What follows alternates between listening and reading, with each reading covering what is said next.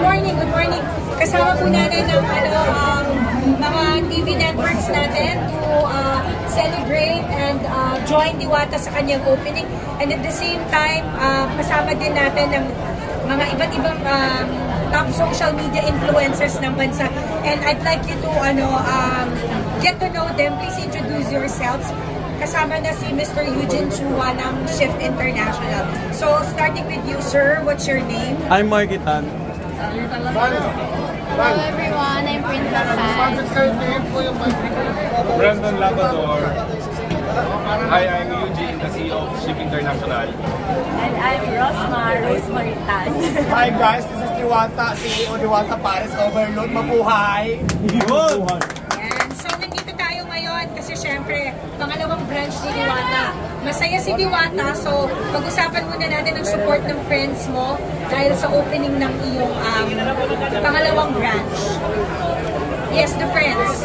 What can you say? Ano bang magiging ninyong words of ano, support kay so, Diwata? sa akin naman, ah, sa akin, ever since we started this, um, ah, yung Diwata, ah, kami from Ship, we are all out supporting, we are all out supporting Diwata. So, sa akin lang, as a businessman, I always tell Diwata, no, stay humble, uh, feet on the ground, no? Uh, lagi ko siya pinapalahanan.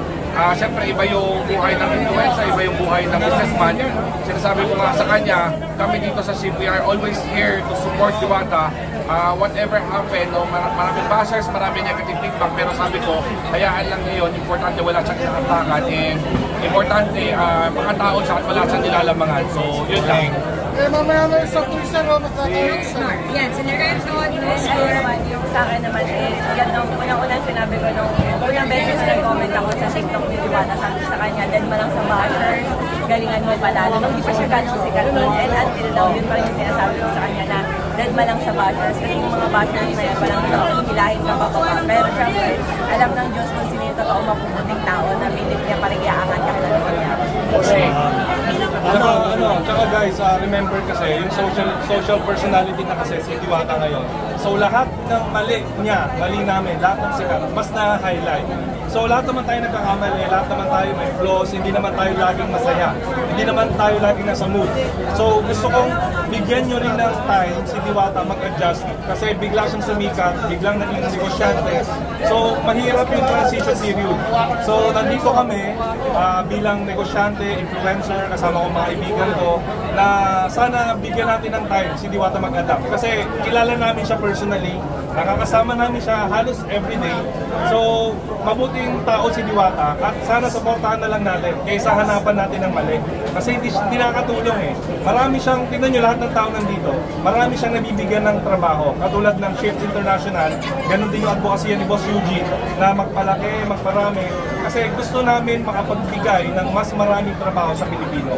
So, lagi kong paulit-ulit to na si Diwata ang nagsisilbing inspirasyon sa lahat ng Pilipino, lalo na sa mga hirap na lumaban sa buhay kahit gaano kahirap. So yun, ang sabi ko kay Diwata, dead mo lang sa basher, nilipas din yan. Yo! Tama! Yan napakaganda mga sinabi nila sa iyo, So, ano naman ang ano, masasabi mo sa suportang binibigay ng mga kaibigan mo in and outside the industry? Ayan, maraming salamat sa mga taong sumusuporta pa rin sa akin. Maraming salamat sa kanila.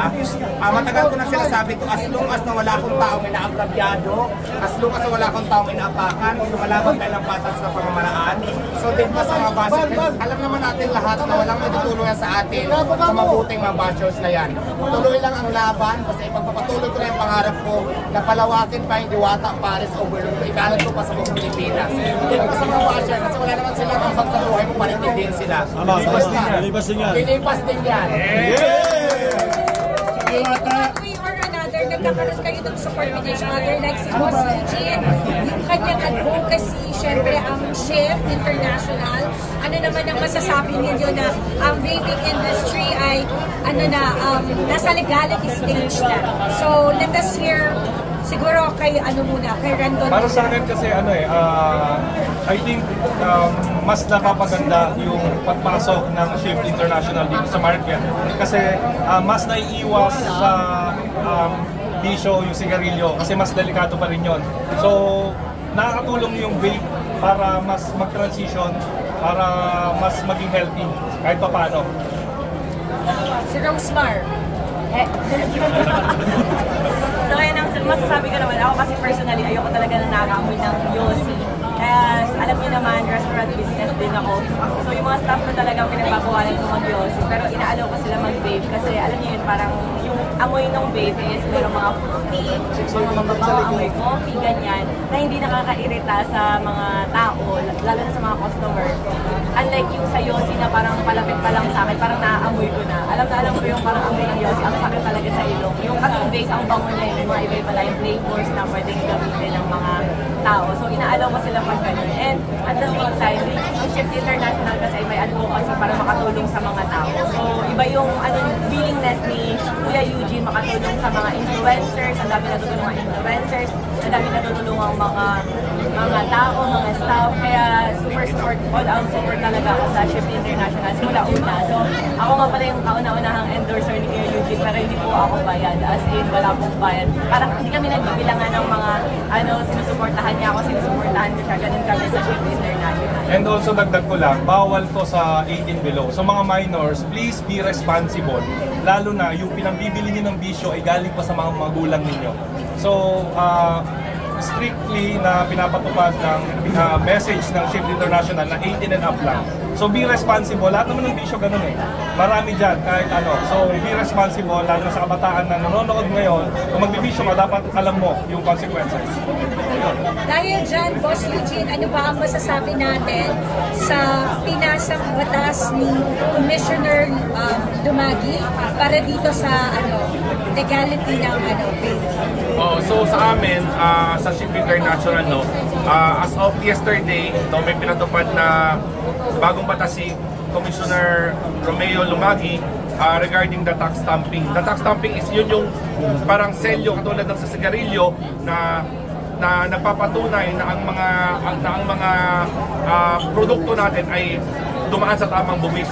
So sa amin naman sa Ship International, we support the BIR government. We, we also support all the government um, to make everything legal sa legality natin. No? So ah, kami no sa company namin, we are happy that the BIR is doing everything na para para ma-check at ma- ma-cut down yung mga illicit na products, vape products natin. Kaya kami we also ensure na ah, to maintain na selling lang ah, sa 18 and above only, we don't sell to minors. Ayun, ang masasabi ko lang basta yung advocacy ng, ng BIR regarding the legality of this uh, BIR and other government agency have a 100% support of SHIP International on making everything legal. Sir Eugene, Jeff here ng CBS-CBN News. So, last Friday, nagkaroon nagka-announce ang Department ng first vape-related death. Isang 22-year-old from from Laguna. Ano po ang, ah, ang reaction po? Yeah, regarding regarding uh, regarding that concern, no, I think uh, I I read the news that uh, there are there are many angles that they are looking, no. So sabi naman nila other uh, it's a possible of drugs and then sabi naman nila possible of cigarettes. So kasi uh, actually uh, hindi ko sinasabing uh, vaping is healthy, no. Vaping is, still harmful. It is maybe much lesser harmful than cigarette. Kasi wala siyang tar, wala siyang ano. So, kami sa shift, we don't tolerate people to use vape. This, our products are for cigarette smokers only, are for vapors only, existing vapors. Never namin in-advocacy na maghikayat ang taong hindi nag-sigarilyo, hindi nagbe-vape, na gumamit sila ng vaping. Oo, so yun naman yung sa amin. Bakit ano, ah, shift ang number one kahit na may mas murang vape products? Uh, actually, shift right now, no, uh, I can say, uh, I cannot consider ourselves number one. So, kami, siguro, ang yung tanong mo na bakit maraming mabababa, this is the what we call the illicit uh, products. Yan yung mga, yan yung mga lumad, uh, hindi tumat, nagbabayad ng tamang buwis. Yan yung actually proyekto ngayon ni Commissioner Lumagi na mawala ang mga illicit na yan para matang, ma- para matigil yung mga illicit na yan, mga mga mga dumadating dito sa Pilipinas na hindi nagbabayad, hindi dumadaan sa tamang examination, examination, walang proper health protocol. So sa amin naman sa ship, mas mataas man ang produkto namin pero makakasigurado sila na quality and siguradong bayad ang taxes at, at ang mga shop owners, ang mga sellers, hindi nila kailangan matakot na mag-display ng mga products namin kasi ngayon, especially in the vaping industry, ah, hinuhuli nila ngayon yung mga illicit products. So mga possible may fine, possible may kulong ang mga shop owners. So lagi namin pinapalahan ng mga shop owners, choose the brand wisely, what, anong gusto nila i-carry. Kasi malaki ang penalty na yan, which we support also the government on this. Sir Eugene, sinabi po na si Parker po, nag-launch po sila ng campaign na wag mag-yosi, wag mag-vape. Ano po ang sabi ng uh, industry, being the industry leader po sa tech? Yeah, sa akin naman, all I can say right now is, uh, we all know we all know vaping is not good, but people still use it maybe for relaxation, maybe for their own needs. No, vaping is also not good. Ako as the owner, I can I will say. I, I'm not recommending that vaping is good for your health. Vaping is still dangerous for your health. But again, our products are for those who are existing vapors, existing smokers only. We don't tolerate, we don't push, we don't hindi kami naghihikayat ng mga tao, lalo na ng mga hindi gumagamit, na mat- matuto sila. Itong produktong to is just an alternative for that cigarette smokers na maghahanap ng, okay, ayoko ng mabaho, ayoko ng, ayoko ng, ayoko ng, ayoko ng, gusto ko ng mas less dangerous, ayoko ng nicotine. So ito yung produkto natin. Sir, yung mga sigarilyo kasi, ah, pati sa public maraming nag-yosi. At uh, pina, pinatitigil na, pinagbabawal na sa mga sa mga pangtutibong yung pag uh, paninigarilyo. Um, yung mga nag-vape, marami sa kanila, pati sa loob ng opisina, buka na buka, ng usok, ng, ng, vape. Do you think dapat din sila ipagbawal sa loob ng mga opisina? I think with with with, with that no, uh, different companies or private companies have their own different standards naman. So kasi sa vaping, one, one advantage of vaping, wala siyang amoy. Hindi siya mangangamoy. Like, if, if gumamit ka ng vape ngayon, like, uh, like si, si Marky nun, kanina, kahit kanina pa siya nag-vape, wala, wala, hindi, hindi siya nangangamoy, hindi siya kumakapit sa amoy ninyo, hindi siya kumakapit sa mga damit ninyo. So, yan naman is, uh, depende yan sa mga private company on how they will want to launch it, especially sa mga employees nila kung gusto nila maghigpit o hindi. But then again, sabi ko nga, ah, yung vaping naman is, we don't we don't push it. No, this is just um, options na nilalatag natin sa mga ex- existing cigarette smokers. Sir, uh, nachikapan po uh, DCRH Ah, may mga LGUs na talaga nagbabawal, bawal mag-vape sa kanilang sundo. Ano po ang reaction ito? Uh, with again like uh, like kanina yung sa mga companies the LGUs they have their own different standards they have their own different uh, programs no again sa amin naman with the LGUs we also support LGUs decision ang kanya-kanyang LGU meron silang ah, mas sila mas nakakaalam kung ano mas bagay para sa barangay nila para sa community nila so sa amin naman suportado na yun if the LGU say hindi nila inaalo ang doon kami we don't push it we never tolerated we never push at hindi na hindi kami gumawa ng kahit ano na ikakalaban ng gobyerno. So sa amin sa to all government agencies, they have all our support. Uh, they have the support of Chief International being one of the leading vape brand in the company right now, in the, in the business industry right now. They have the support na kung ano yung gusto ng gobyerno, nandun tayo. Yung uh, vape products like uh, yung uh, Flava, talagang uh, pinagbabawal ng uh, DTI dahil uh, yun ay may mga mga elements na naglalaman ng illegal drugs. Sa inyo po ba, nakakatiyak po ba kayo na yung binibenta po ninyo ay walang laman ng uh, mga anumang sangkap ng uh, illegal drugs? Actually, regarding dun sa tanong mo, Flava is banned by the government not because of illegal sub- substances. Flava is banned by the government because of the uh, importation wise. No? Uh, nahuli na may mga raid na nahuli ang mga warehouses nila. The DTI imposed a statement that all Flava products is banned uh, to sell. So mga sellers hindi sila pwede magbenta. But regarding the uh, illegal substance sa amin sa ship, we, you, you guys can assure that na lahat yan, meron niyang proper testing, meron tayong um, documentation dyan na pumapasok na dito ng legally, wal- walang illegal na substances tayo dyan. It is a pure vaping uh, products only without any illegal products tayo. At kaisa kayo sa kampanya ng uh, BIR at uh, Bureau of. Yes, ah, suportado natin ang BIR when it comes to legalities. Ang masasabi ko lang, hindi man tayo number one ngayon, hindi ko hindi ko inaangkin ang pagiging number one. But I can assure, we Shift International will be the number one taxpayer of the BIR for collecting the taxes in the vape industry. Dapat nang dapat uh, mag-shift ngayon sa pag-vape? Itigil na yung. Uh, again, uh, yon naman is uh, all we all we have is um, maglalatag lang kami ng options. Um, they, uh, existing smokers have their choice. They want to continue smoking, they want to shift into vaping, it's up to them. We don't we don't push. We don't do hard selling. Kung makikita nyo yung mga like influencers natin, endorsers natin, kami we don't pay them. We don't monetize them. Lahat yan, si Ate Rosmar, si Diwata, walang mga money involved yan. Lahat yan, sumusuporta lang sila. Kaya on behalf of us, we support them also. Yeah, it's a marquee. They are using it, but they don't they don't encourage people to use it also. Oo, yun naman yung sa amin. Sa abroad, bilang uh, uh, influencer, of course, you have a, such a huge platform. Uh, sabi nga kanina ni Sir yung G na yung dating, it, it may not be good for you. Pero how will you use your platform para ma-inform yung public? Para sa akin kasi ano eh, mas ayaw kasi ng Yossi kasi mas delikado siya. So, kesa ibang bisyo, kesa mahirapan mag-transition yung mga tao para bitawan yung yung Yossi, mag-tweet ka na lang. So, pero hindi ko in-encourage siya lalo na sa kabataan. Kasi, ah, ano eh, depende naman kung, kung ano yung purpose mo sa paggamit ng isang bisyo. So, depende sa inyo, hindi namin pwede sabihin masama, hindi namin pwede sabihin mabuti. So, ang ang ang aim ko lang dito bilang fitness ambassador, ah ini-educate ko yung mga tao kung ano yung healthy at kung ano yung hindi. Para kayo mamili. Kasi hindi naman lahat ng product mag-work sa inyo eh. Hindi naman porket ginamit ng isa, ay okay na sa inyo lahat. So, I think ah, kailangan natin ng awareness lalo. Kaya kami nandito, suporta kami sa Shift International para ma-voice out pa sa mas maraming Pilipino, lalo na sa kabataan, yung tamang paggamit ng vape. Kasi mamaya akala nila uso lang. Akala nila gamit lang ng mga influencers, gagayahin na. So hindi namin ini-encourage po yun. Be responsible. Kung kailangan mo, kung anong, kung anong purpose mo, ah panindigan mo yan. Kasi sarili mo yan eh. Rosmar, same question. Ang, ang, ang followers mo, kabataan. So, ano yung message mo sa mga kabataan, especially when it comes to using vape? Ayun, so katulad kahapon, pumunta kami ng motor show, eh nagdala ko ng 200 pieces na vape. Kaso nung paglabas ko ng sasakyan, puro bata.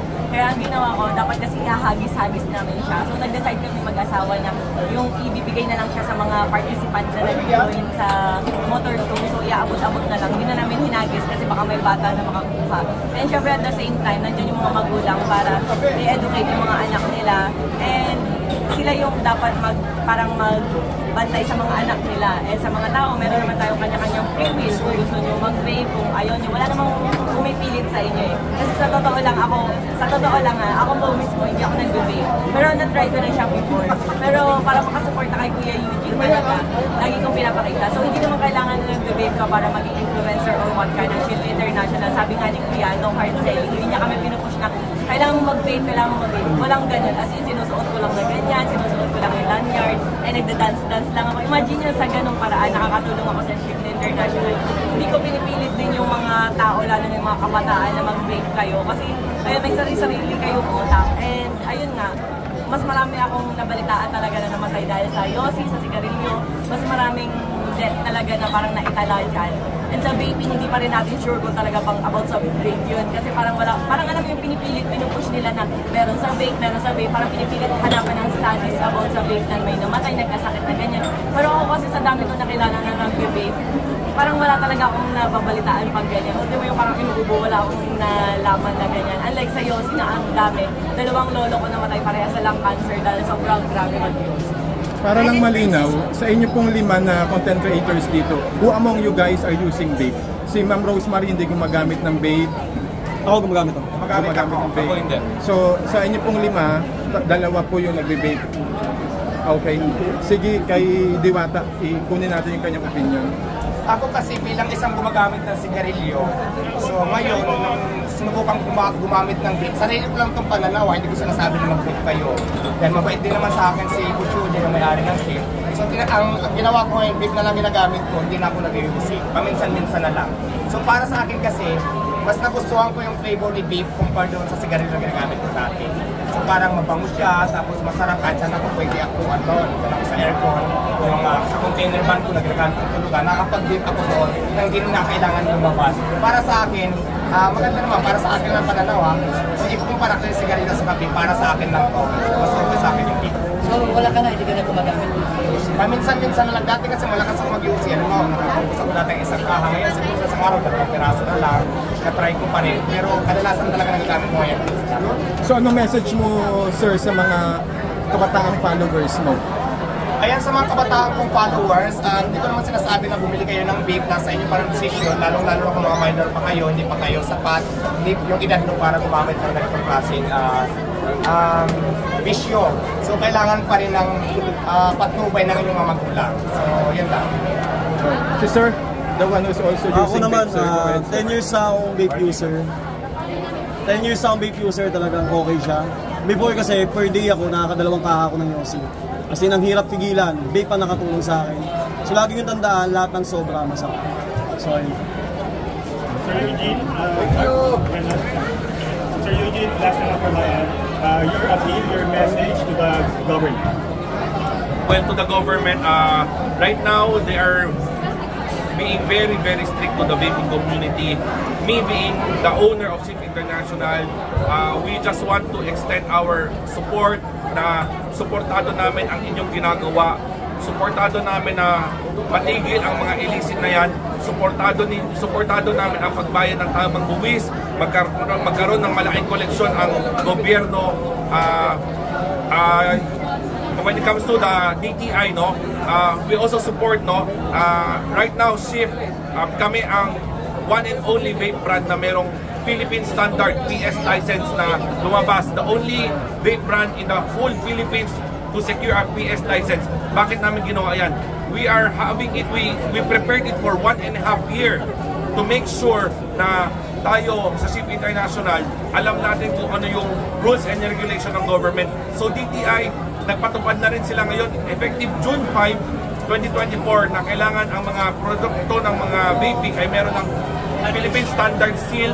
So tayo lang ang only brand na meron nun. Ang BIR, when it comes to collection of taxes, nagtaas ng mga taxes, nag-impose ng mga um, stamping, supportado din natin ang BIR doon. So, uh, all the requirements of um, FDA, kung ano man ang mga kailangan, lahat yan ay meron tayo kompleto tayo ng papeles. Kailan kayo nagpatupad ng RT Ah, yung we, ang ang preparation ng did it one and a half year ago.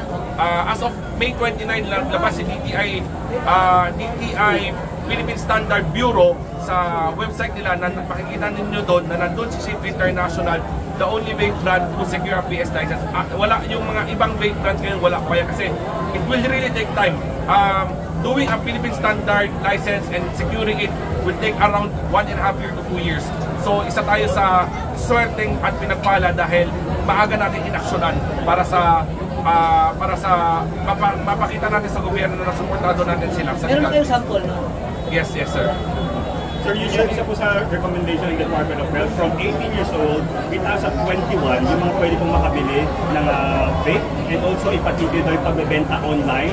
Your, your take on that? Uh, regarding regarding selling it online, we we we from Ship International, we uh, we hardly impose na kami ang nagbebenta na binibentahan namin downlines are all um, distributors who have uh, proper documents, who have a business license. Bakit naman iniwasan ang online selling? Ang online selling kasi hindi na monitor dyan ang pagbenta sa minors. Uh, wala silang binabayarang rental, dyan nagsisimula ang mga price war. So we don't tolerate the online selling of vape products lalo na bisyo to. So sa amin naman, we encourage all, even the distributors, to follow all the legalities.